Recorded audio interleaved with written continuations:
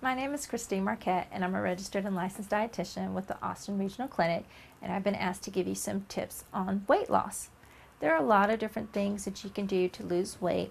The main thing that you want to keep in mind is that you want to think of it as a life process. You want to make sure that it's a lifestyle for you that includes physical activity and healthy eating.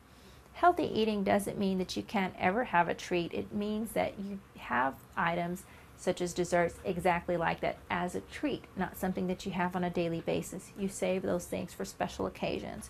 So, on an everyday basis, a healthy diet would be one that includes a variety of fruits, a variety of vegetables, different types of whole grains such as brown rice, beans, whole wheat pasta, whole wheat bread, lean sources of protein, whether that comes from nuts or seeds, beans, lean meat such as sirloin or poultry without the skin on it or seafood.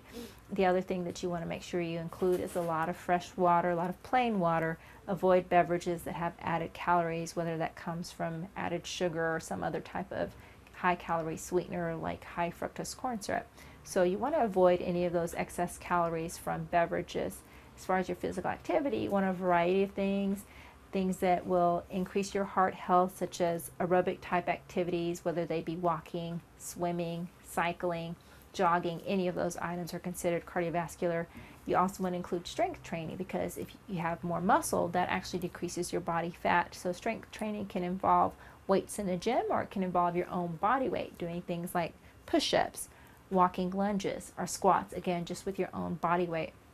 You also don't want to neglect stretching. Your flexibility is very important. So you want to include a stretching routine that will actually help prevent any injuries from doing the other types of exercise. So general tips for weight loss, again, basically eating a healthy diet and including some type of physical activity most days of the week.